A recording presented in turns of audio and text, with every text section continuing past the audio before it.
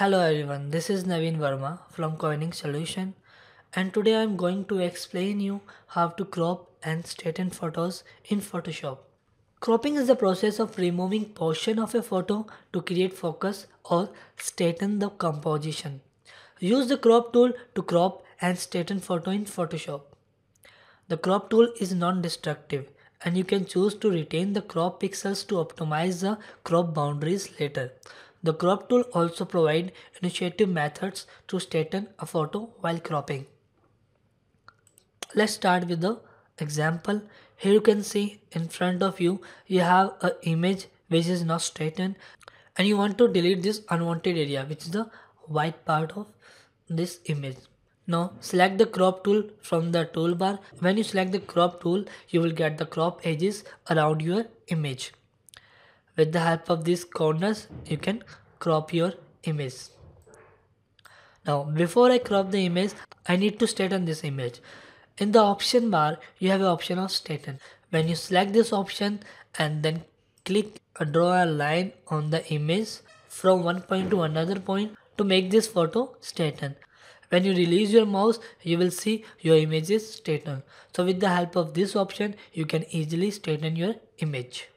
Now you can manually crop the unwanted area with the help of crop points around your image like this.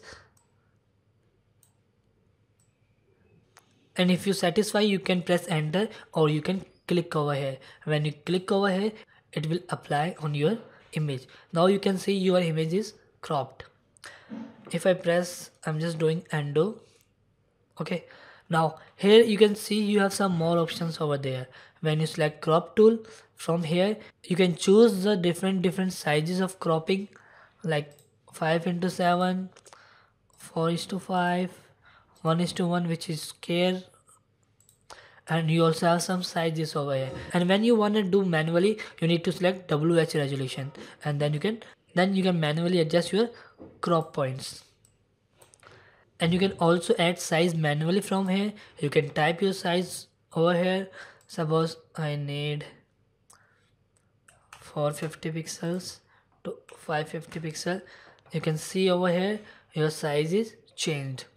Now if you don't want this you can keep this none and they keep this none also.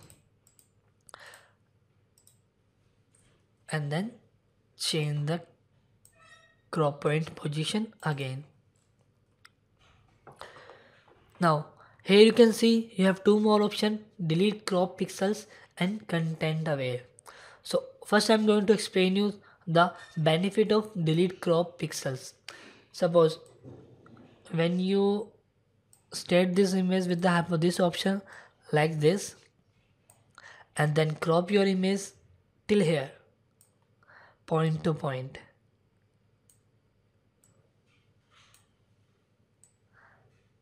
like this and press enter or you can click over here.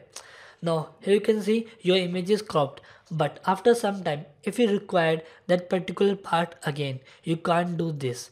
If you check in the layer panel and just change the position of your layer you can see your all pixel were cropped. Now if you don't want to delete that particular area you need to uncheck this option before cropping your image. So just uh, I'm doing undo over here again and then select the crop tool. I'm again starting my image. Now this time I'm going to uncheck this part and then crop my pixels like this